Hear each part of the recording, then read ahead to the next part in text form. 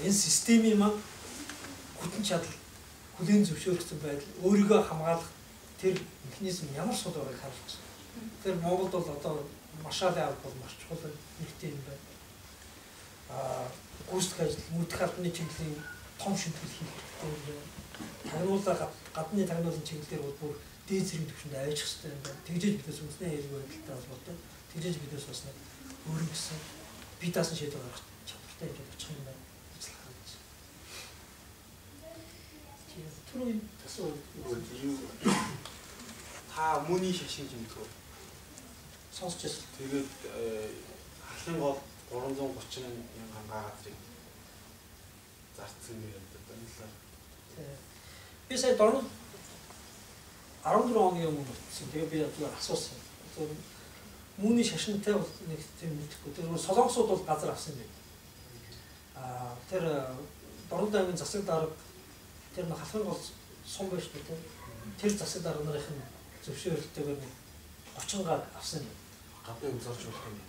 Зарахгүй шүү дээ. Зүгээр тэр нэг халахын голж хөрс их сайтай учраас тэр нөгөө ногоо тарих зорилготой тийм авсан юм байна. А гэхдээ тэр солонгосууд нөгөө тэр ногоо тарих гэж тэр бас нэг одоо төрүүчийн нэг жоохон юултмыг нөхтөл юм байна л та. А тэгэхээр солонгост очиж мөнгө босгохдоо тэрийг их том болгоод зарласан юм байна. Тэгээд зарлаад биднээс ийм юм хийж байгаа та бидэнд одоо мөнгө өгөө биднээс хамгийн ашигтай бизнес хийж гэдэг. Тэгээд тэр нь сенсац болоо Монгол тархиж ирээд тэгээд ийм том газарыг солонгосчууд өгсөн юм яасан юм бэ? Дахиад араас нь асуудал хөндөгдсөн. А гэхдээ ер нь бол Дорнод аймгийн хин жанлаг болов. Тэр засаг дарга бол ер нь их асуудалтай гэсэн юм. А гэхдээ бид бас дахиад хариуцлага системтэй бодох хэрэгтэй болчихж байгаа байхгүй. Манад бол одоо юу болж байгаа гэхээр гурван төрлийн нөхдөд бол ер нь бол толгой толгойнхоо дээр бол хууль байх хэрэгтэй бол тэрийг аваад өхөн дор авч ажиллана шүү дээ. Ямар нөхдөд байна вэ гэхээр а эрхмэл барьж байгаа нам дотор байгаа нэг хэсэг нөхдөд байна. А тодорхой орон нутг эзэн хаашиг болцсон хэсэг нөхдөд байна. Хин намайг хэлэх юу юу яах вэ? А цагдаа хүчний байгууллагт байгаа нэг хэсэг нөхдөд. Тэгэхээр ийм гурван төвч байгаа нөхдөдийг одоо яаж сэмжлэх вэ гэдэг хамгийн эцэг цагдаа хүчний байгууллагт байгаа хэсэг. Цагдаа гэдэг бол одоо хууль сахиулдаг биш бол даргын үгээр ажилладаг тийм бүлэг болчихсон. Ер нь бол их аюултай болсон. Дүр зураг өдөр нь дөрөв туцтай хүн айлгав тийм шөнө нь энгийн хувцтай хүн айлгав. Яадаг вэ гэхээр өдөр нь бол цагдаагийн бие бүрэлдэхүүнийг хамгаалдаг шөнө нь бүх юутай. Би хамгаалах юу гэдэг вэ? Хамгаалтай. Тэгээ хамгаалтай алба гэдэг нь юу болоо хувирсан гэхээр шороо оронд явж байсан ер нь бол болдгоо зодонууд дээр нөхдүүд ингээд цуглуулчихсан. Тэгэл энэ энэ гараараа хууль ярьдаг энэ гараараа айлгал сүрдүүлдэг нэг тийм бүтцтэй болчихсон зүгээр онгош гэж хэлж байна шүү дээ.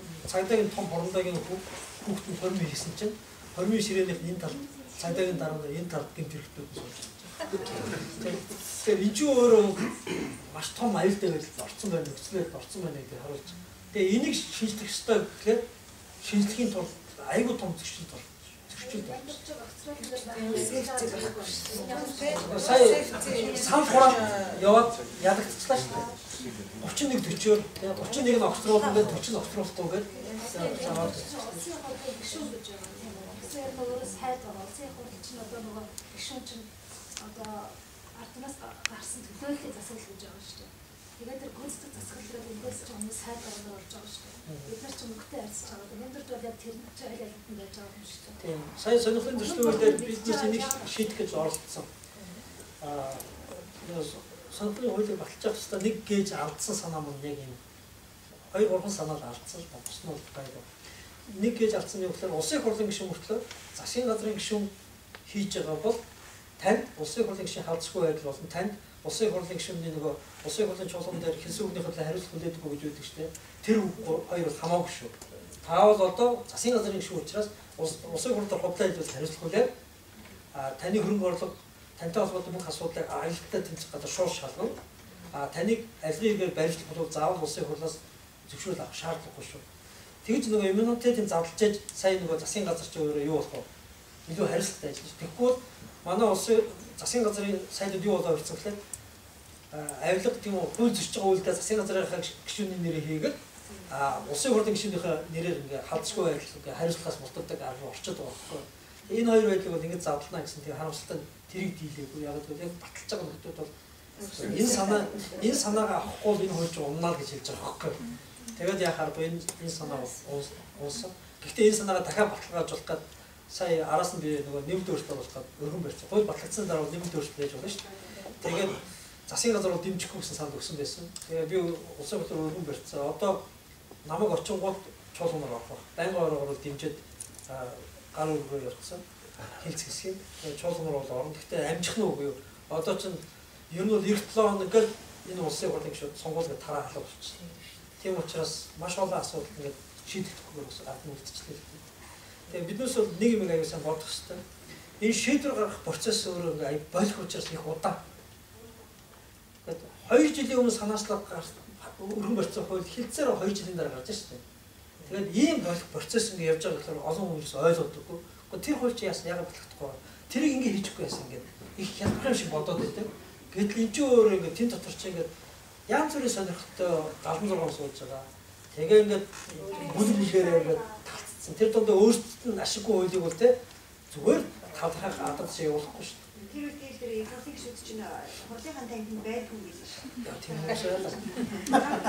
Энэ дийг ингээ баг уусан гэсэн байхгүй тийм. Сандрын төвшин өөрөөсөө босож ингээ юу дараа. гişүүн карттай болно. Гişүүн карттай болно шүү. Төвчлөр. Манай манай нэг залуу тэр санаас нь гарсан. Зөвхөн ингээ хурууны юу тань өөрийнхөө нь таньдаг. Тийм конофтой болгоод тэгээ гэсэн чинь бас л явахгүй л байгаа. Тийм үү. Хүмүүст нэг нэг гişүүд чи тав байгаа юм байна. Хоёрын гаруй ажилласан сонгуульд ядлаа гэдэг байна. Аа тийм тохиолдолд ажилласан энэ хөлөөлөл бүгдийг аваад батлаад яа шанс олно тэр шингэр байдаг юм.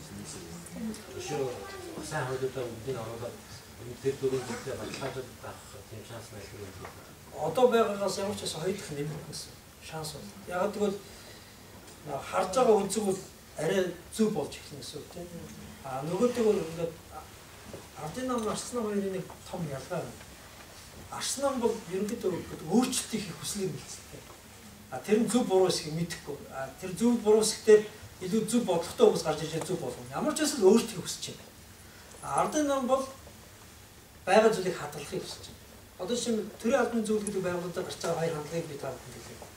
Төрийн албаны зөвлөлийг чинь ерөнхийдөө дөрөв удаа хэллээ шүү дээ. Энэ төрийн албаны зөвлөлийг татан болгоно гэж дөрөв удаа хэлсэн. Яагаад гэж хэлж байгаа юм бэ гэхээр энэ төрийн албаны зөвлөл гэдэг бол үндсэндээ чойч байгууллагч. Ардчил удаан тогтчихсон Канадын ч юм уу гэдэг одоо Англи ч юм уу тийм улс оронд бол учраас бол их хүнтэй зөв бэлдсэн болсон учраас яаж энэ төрд удаан байх вэ гэдэг бол тэр төрийн бодлого багхгүй. А манад бол болсон хүчин бол одоо удаан байх тухай ярьж болохгүй. Яг гэвэл нөгөө байга болсон хүчин чинь социализм үед бэлтгэгдсэн. Энэ болохгүй сүлжээ дотор орчихсон те хит хуужилсэг сэтгэдэг асуудлыг иргэнрүү зорж харахаас илүүтэйгээр те өөрийгөө ингээл хүний дээр байгаа нэг мундаг авдал гэж бодоод байна шүү дээ. Тэгэхээр тийм болсон хүчингүүдийг бид аль болохоор яах вэ? Солих хэрэгтэй. А гэтэл биднээсээ бодлого бол төр төрийн одоо хаалгуудыг сайхан нээгээд шин салхи оруулаад шин стандарт тавиад ёс зүй энэ шинэ хуулийн орчингуудыг бүгдүүлж аваад тэгээ энэ хуулийн орчинд ажиллаж чадж байгаа нь ажил ажиллаж чадахгүй бол яах вэ? Зайл гэдэг тийм л бодлого явна шүү дээ. А энийг явуулах гэхэд садаа болж байгаа ганц байгуул нь юу? Нөгөө төрийн албаны зөвлөл байна. Тэгэхээр энэ төрийн албаны зөвлөлийг биднээс Балтикийн улс орнуудын жишгээр цэвэрлэгээдэг байгуул болно. Тэснээс ш чойжлдог байгуул болохгүй гэж ардын намынхан бол аль бүх хүнээ тэнд оруулчихсан. Одоо бол хөлгөө хийж болохгүй. Тэнд манай хүмүүс байгаа учраас энийг зүгээр л яах хэрэгтэй, чойлж авах хэрэгтэй гэж бодож байгаа. Тэгэхээр бид бол аль болох салхи оруулаад өөрчлөхийг хүсэж байна. А тэд бол байгаагаар хадгалахыг хүсэж байна. Ялгаа юу дээ. Тийм учраас тэр саний яаж бол өөрчлөлтийг хүсэл эрмэлзэлтэй байгаа гэдэг чинь тэр 12 онд бид ялах юм бол ямар ч эсвэл өөрчлөлтүүд хийгдэн гэсэн үг. А гэхдээ өөрчлөлтөө зөв хийхин тулд бас илүү хариуцлагатай бодлоготой хүмүүст гарах хэрэгтэй. Тэгснээс бас манай өө юм гарч бас хэцүү л дээ. Тэд нар чинь бас нөгөөдөлөөсөө өөрчлөе гэж ярьж байгаа болохоос биш өөрчлөх гэж байгаа бодлого нь бол нэг дэрдгэргүй нөхдөд байна шүү дээ. Тийм учраас би бол зүгээр төстас дотор байгаа ч бас шүмжлэл хэлчихэж байна. А гэхдээ ямар ч байсан манай өвөмнөр ардын намын залуучуудаас хайгууд юм. Там дээрээ сурцгаа. Тэгвэл Энэ 7 сарын үйл ажиллагаа болсон үйл 7 сарын нэгэн бол одоо энэ дөрвөн генералын хэрэг одоо хэн шийдэлж байгаа. Хэрвээ та энэ их сонгуулиар их хурлын гишүүн одоо болж чадаагүй тохиолдолд энэ хүний эрхийн асуудлаа үргэлжлүүлж хийж чадах уу? болно л доо. Ер нь бол заавал улсын хурлын гишүүн байж байгаа нэгэн дүүрч байгаа юм бас авахгүй шүү дээ. Би өөрөө сүүлийн 12 жил нөгөө судалгааны институттэй байсан. Одоо ч миний судалгаа одоо энэ сонирхолтой зөвшлөөлөөр маш олон хуулиудыг манай судалгааны институтд боловсруулдаг. Тэгээ манай улсын хурлын гишүүд ихэнх нь бол ингээд судлаачдаас нөгөө санаа авахаас илүүтэйгээр зөв өөрийнхөө зүудэлсэн юм уу те эсвэл нэг нэг газар би уусаж байгаа төрсэн санаагаа хэрэгжүүлэх гэж оролдоод бус орныг давхарлах гэдэг юм да. Тийм учраас судалгааны институт иргэний нийгмийн нөлөөлөл гэдэг бол улсын хурлын гишүүн өмнөний эрх мэдэлтэй бис харьцангуй бага ч гэсэн бас л өөрчлөлт хийж болох механизм ш. А тийм учраас заавал улсын хурлын гишүүн байж энэ бүхнийг шийднэ гэж бол харахгүй. Энийг бол зогсоохгүй гэсэн. А 7 сарын 1-нд холбоотой асуудлыг шийдэхэд бол ингээд тэмдэг бэрхшээлүүд гарч байгаа. А дахиад түүх татгас яхаас өөр аргагүй. Би 2008 оны 7 сарын 1-нд сонгогдсон боловч нөгөө мандат хүлээн зөвшөөрөг учраас улсын хурлд орж чадахгүй байсан. Тэгээ 2009 оны 3 сард ороод оронгуудаа тагруу өргөөд би шууд шоронгоор явсан. 7 сарын 1-нд холбоотой 375 залуу шоронд орсон байсан.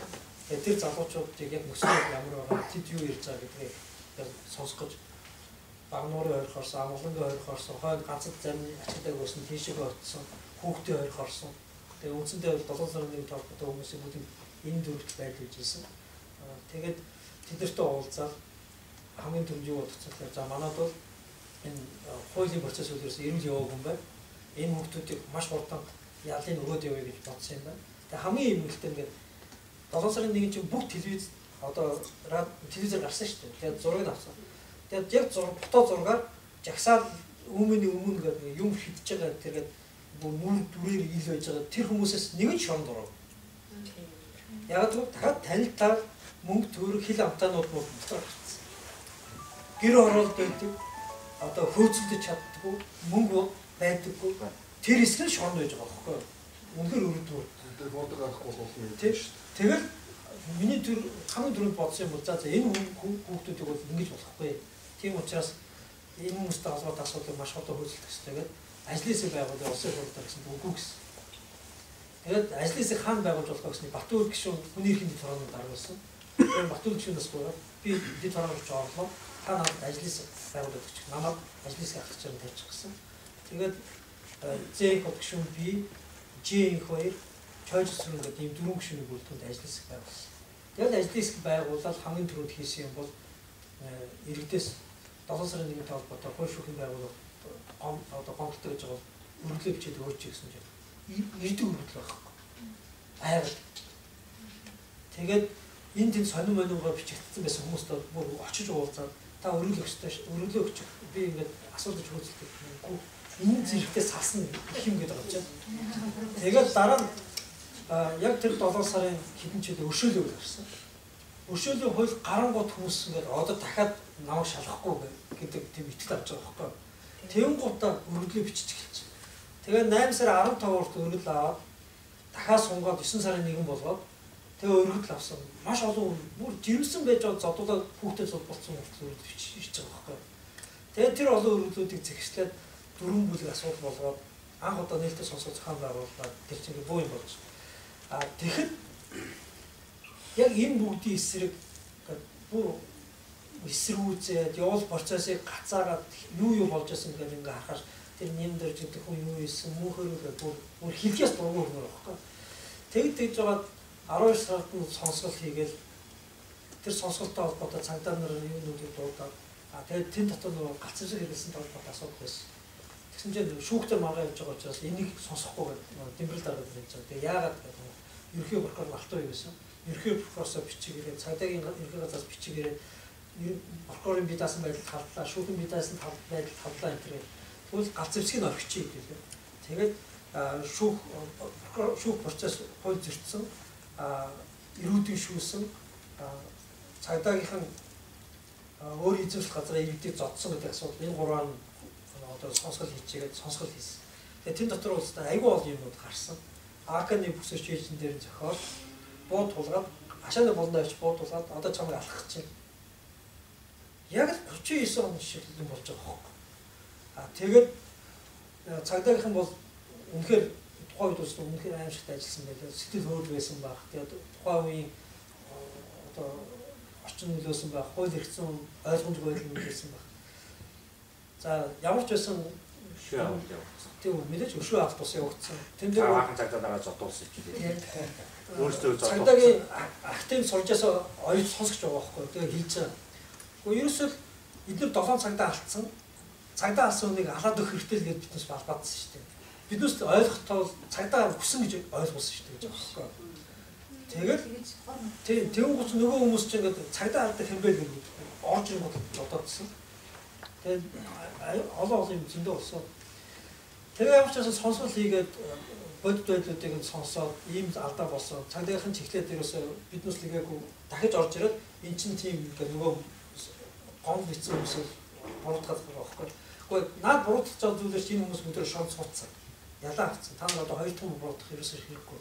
Одоо энэ зодсон үдсэнгээ та нарын асуулт хандж байгаа. Тэндээ тайлбарыг тайлбарыг чадахгүй. Тэснэ зүйлийг юу гэж яаж байгаа. Тимээд нэг тийм их алдаанууд гарсан гэдэг хүлэн зөвшөөрч. Тэгээд тэрийг хүлэн зөвшөөрүүлээд байгаа нь маш чухал байсан. За хоёр дахь юм бол буудсан гэдэг хүлэн зөвшөөрлөх гэдэг маш чухал байсан. Чадахгүй байсан. Цагдаагийнхан бүх бүх үгүүл гэж хэлээд байгаа Тийм. Тэд нар ч бол хар машин дээр жирийн хүмүүсийг буудсан гэж хэлж байгаа байхгүй. А тэгжсэн чигээр тэмхээр бас одоо цагдаагийнхан дотроо нэг зөрчилдсөн. А юу болсон гэхээр яг тухайн үед буу сум тавиулаад нэг яг буудчихсан тэр хэсэг дотор явжсэн 3 4 цагдаа нар энэ нөхцөл байдал хэцүү болчихлоо. Дараа нь бол ингээд өршөөлөө хуулиар бол өөр бус юмар явчлаа. А биднээсийг бол энд нь одоо бол риск болоо гэж хэлж байгаа боловч охирчтон гомд гаргацсан байхгүй. Тэгмүүд хэрэг сэргээдсэн чинь оо биднес ч одоо юу болж байгаа гэхээр санаатай зохион байгуулалтаар бүлэглэж хүн алсан гэдэг гинт хэрэг бодогдож шээ. Гүр биднес тушаал бизнес шүү дээ. Тэнгуутаа тараас нь сум, хонгоо, маршрут бүх юма тэгээд өдрийн тэмдэглээ үлдээ ачаад өгсөн. Гэтэ прокурорд өгөхгүй. Прокурор нь алтан юу гэсэн байхгүй. Надад юм. Юм надад өгсөн. За ийм юм болох гэдэг юм. Тийм учраас энэний үнэн зөв таал болоорой гэж ачаад өгсөн. Тэгээ тэр бол маш чухал байна гэсэн. Тэгээд тэрийг аваад за энэгээр биднес хэрэг риск бол одоо сонсгол хийх гол ардын намхан бол ерөөсөө сонсгол хийхгүй. Яг галзарчтай холбоотой юм ярихаар л яг өөрсдийнх нь юм ярьж байгаа юм шиг бүр эсрүүцдэг. Тэгжээд л ерхий прокурор өөрчлөгдсөн.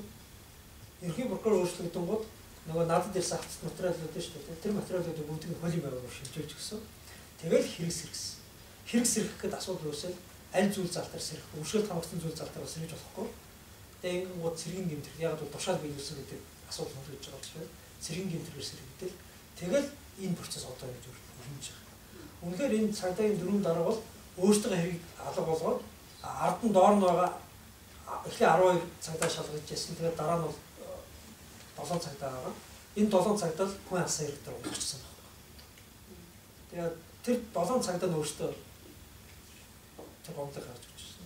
Оо биднес яг энэ процессор яг биднес өөртөө боолоод, өөртөө сум аваад, өөртөө дураад хүн буудаа алдсан болох гэж байна. Тэр тийм байж болохгүй. тушаалаар явсан. Тушаалаар явсан. Тэгэхээр тэр дараа тушаал толгойд тэр дараагийн асуудал шийдэх. Тэгэхээр одоо энэ дөрөв дараагийн дараатай холбоотой шүүхөр болох гэдэг байгаа чинь тэгэхээр энэ шүүхөр болох юм бол нөгөө доор байгаа цагдаа нар гिचээ орж ирж байгаа. А тэгэхээр яаж энэ шүүхийг хийхгүй байх вэ гэдэг бүх талаас харах юм жаа. Хөөе хугацаа хичээд дуусна. Дарамтлаа нэг нь бол нэг нь бол ажлаас нь халтсан. А нэг нь бол гадшны явуулсан байна. Тэгэхгүй бол дарамтлаад байгаа байхгүй. Хичээд дуусна гэдэг хөөе. Хөөц хугацаа хариулахгүй. Чиг. нэмэлт асуулт Одоо дахиад нэг 2 жилийн зай байна. Айлтос гүндэг. Энэ 375 хүн хоригдсан гэдэг байгаа шүү дээ. Энэ бүгд одоо гарч 270. 275 хүн энэ бүгд гарч чадсан нь одоо Ер нь бүгд гарсан. Гэтэ тэрэн дотор бас аа тийм 10 хүн байв. Одоо их Хатуу хэлтэй.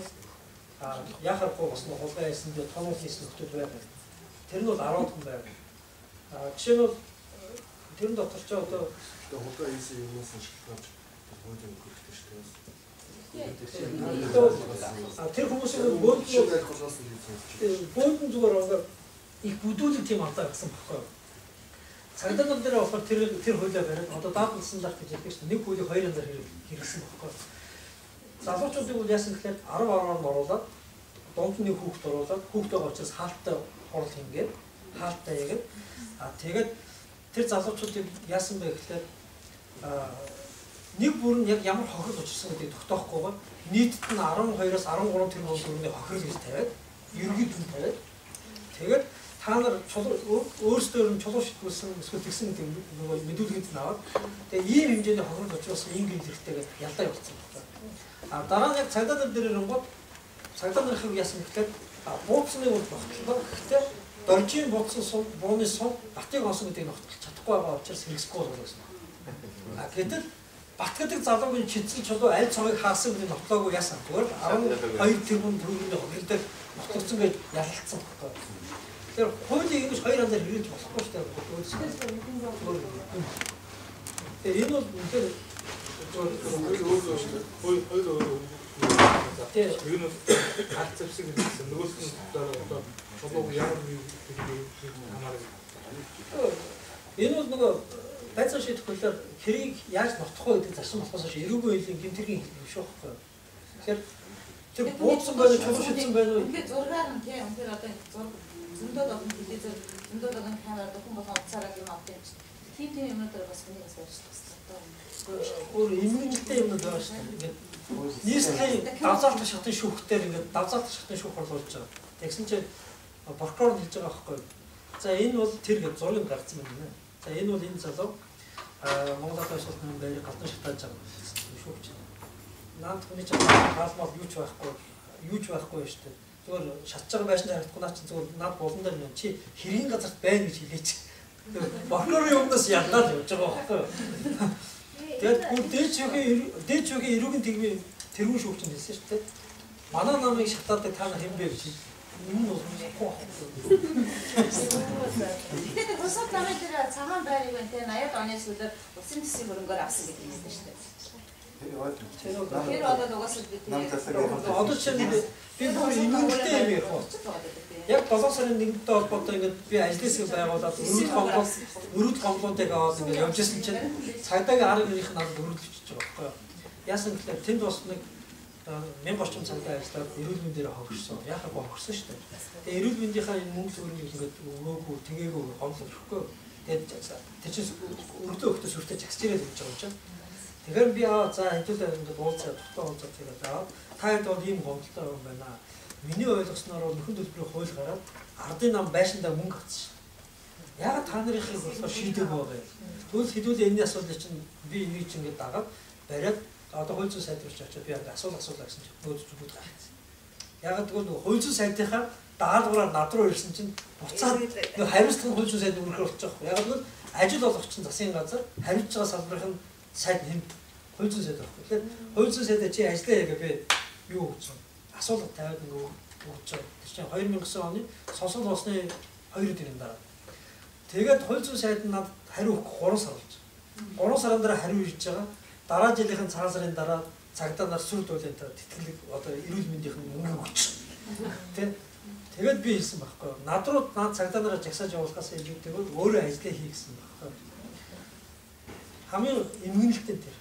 Энэ өвгөн дэгдээсэн за яг хоо гэдэг өөрөө чи хийсэн ажил нүүмэд нэг одоо дарсан загцуулсан би цагдаа нэг өөр даалгавар цагдаа нарт дараагыг одоо харсан гэж тийм. Энэ өвгөнийг хэн дэгдээсэн бэ гэдэг гадар ирсэн юм. Одоо бид нар нэг ийм ийм хоёр ялгаж харах хэрэгтэй байхгүй. Иргэд бол үзэл бодоо илэрхийлээ дараа нь үүмэн болсон байна. Өмнө явцад тодорхой гим тэргүүд гарсан байна тийм. А тодорхой гим тэргүүдийг жилийн дотор цагдаа шүүхийн шийдэл хэрэглүүлээд 275 доллар шоронд хийсэн. А өмнө зохион байгуулсан гэж үзэж байгаа Бацаандан, Магна, Жаргал Дөрж. гэдэг гурван байна шүү дээ. Элбэг дөрж. Хүний ярьсан. Өчиг яриад. Чамаа бол чамаа соён болоо тах чинь таамаас чигсэн. Тэнч ягсан шүү дээ. Одоо чи нэг зүгээр юунуудаас салгаал хараарай. Яг өмнө хаан гарсан. Жагсаал нь хаан болсон. Ямар ямар үйл явцуд болсон. Зүгээр бүгдээр ингээд ил ингээд харах хэрэгтэй байхгүй. Сквадрын талбай дээр нэг хүмүүс чагсчихсан. А Монгол Ардын Улсалдааны байрны үүд нэг хүмүүс очиод бужигнжсэн. А тийшээ хин гацсан. Өмнө нь өмнөх өдөр нь магна жаргал сайхан хоёр сонгон хайрхан би одоо сонгон хайрханд нөгөө ялаг нөгөө сонгуулийн үр дүн гарсан шүү дээ. А гэтээ ялагц ялагыг би мэдэхгүй. Ямар ч байсан тэр өдөр а магнагийн саналыг Монгол Ардын Улсалт намаас нэг төв шимлээд тэрний нэр дээр 50 санал уншиж байгаад баригдаад нэг аваа. Тэгээд за ингээ баригдчихлаа гингууд цагдаа авч яваа. Дараа нь бол энэ энэтэй холбоотой хуулийн зохицуулалт авахгүй учраас сулалцсан байхгүй. Тэгэхээр 50 санал яаж байгаа баригдсан юм чинь цаана хэдийч булгаасан юм байлаа гэдэг нөгөө төвч ингээд бохимдаад тэгээд Скватрын талбай дээр ирсэн. А тэгээ магна өглөө бол Монгол Ардын улс орны байр та телевизээр харсан баг тийм. Энэ хамгаалалтын албаныхан байсан магна ингээд хэсэг хүмүүсийг дагуулж ирээд дайрч ороод дараа нь бидний миний араас хүмүүс ирж байгаа гэдэг араас нь ирж байгаа нь хэн бэ гэхлээр нөгөө жаргал сайхны цуглуулсан тэр хүмүүс ирсэн. Тэгээд Монгол Ардын улс орны байрны өмнө хэдэн хүн бужигнаад Скватрын талбай дээр хэдэн хүмүүс цуглаад ингээд хоёр хэсэг хэсэг бужигнжсэн. Тэгээд сүүлдээ энэ хэсэг бол нийлж. Нийлж. А өдөөс хойш нь мэдээж зэрэг дүүмэн бол бужигнаа болцсон. Тэгээд магнеч хүртэл за одоо тавцгааг өөр дахиагалуулаа явсан шүү дээ. Тэр зуртаа өдөр харсан байлгүй дээ. А энэ нь бохонцсон хүмүүс бол тэр хөрмөг ямар болдог вэ те? Яг тэрнтэй адилхан шүү дээ. Эмоц. Тэгээ эмоц ингээд тэр чинь даваагаад ингээд байгаа. За энэ бохомдолтой холбоотойгоор тодорхой хэсэг хүмүүс гэмт хийсэн. Тэгэхээр тэр хүмүүсийг яг онц гэмт хэрэг хийсэн хүмүүсийг барьсан уу юу би түрмэлээ шүү дээ. Хэрэгцээтэй байгаа. А өмнө нэг цагаахан тараас. Яг хууль заасан арга хэрэгслэр зарим хэсэг нь тараасан. А зарим хэсэг нь ясан. Буутцсан. Гэсэн мөртлөө буутсан хөлийн зөвшөөрөв. Цагдаа буутчаад дараа нь тайлагнаад бид бол галц зэвсэг хэрэглэсэн онцгой зарчимтай холбоотой галц зэвсэг хэрэглээс өөр аргагүй байсан гэдэг тайлбарлуул нэг хэрэгтэй. А гэтэл тайлбарлахгүй бид буудаагүй хар машин хүмүүс ирээ бууцсан байлаа гэдэг ингээ яриад байвал өөр юм бохгүй. Тэгэхээр энэ хоёр бол тустай. Энэ хоёр бол тустай. А тэгээд одоо бид бас хүний ихэд хоёрч байна. Би түрүү хүний ихийн дэд хорооны ажлаас гэж баярлаа шүү дээ. Хүний их гэдэг бол юу юм бэ? Төр эргэн хоёрын хоорондын харилцаа дотор ярьж байгаа шүү дээ. Төр эргэн хоёрын хоорондын харилцаа. Галцсаг хэрэгэлдэг хүчний байгууллага үйл ажиллагаа явуулахдаа хууль төрмийнхаа дагуу ажилласан юм уу эсвэл хууль төрмөө давж ажилласан юм. Эндээ холбоотойгоор бол хяналтын ажлын хэсэг байгуулагдсан. Би тэрийг нь ахалсан. А яг сайны ярьдаг тэр үүмэ яаж болсон энэ тэр энийг бол инх төвшнгөр ахлуулсан хэсэг. Гэхдээ манай ажлын хэсгийн байгууллагадаа 3 сар болж байхад манай ажлын хэсгийн гаргаж байгаа шийдвэрийг балруулах зорилготойгоор инх төвшнгөр ахлуулсан улсын хурлын ажлын хэсэг гарсан. А гэтэл тэр ажлын хэсгийн үнэлт бол одоо хүртэл байна. Тэгээ би бол би бол шууд хэлдэг. Одоо намаа ингээд яг хийсэн ажлаа ярихад чи тэрийг нь тэгвэл олохгүй байсан гэдэг. Тэр ажлын хэсгийг надаар ахлуулсан би олно. Өстөд ямар байсан би хангалттай тодорхой. А гэтэл би тэр хүмүүсийн ажлаа хийгээгүй төлөө би энэ ажлын хэсгийг авахулж болохгүй шүү дээ. Ялгаа бол тэл. Тийм учраас би бол ажиллаа л хийсэн. Манай ажлын хэсэг бол хүнийхэн зөрчлийг хялах байсан. Тэгээ хүнийхэн зөрчил нь юу байсан гэхээр иргэдийг барьцлахад дараа зодсон юм уу? Мөрдөн байцаах үйл ажиллагаа явуулт ерөн төш үсэн юм уу? Шүүх хуулийн байгууллагууд дээрээс өгсөн дараа зөрчиж ялсан юм уу? Цагдаа галзуу шиг эндийн амьаас талцсан. Дөрөв цууны улмаас бас орсон 6 6 биш одоо бол 12 болж байна. Галзуун юу шархавсан. Тэгээ та бүхэн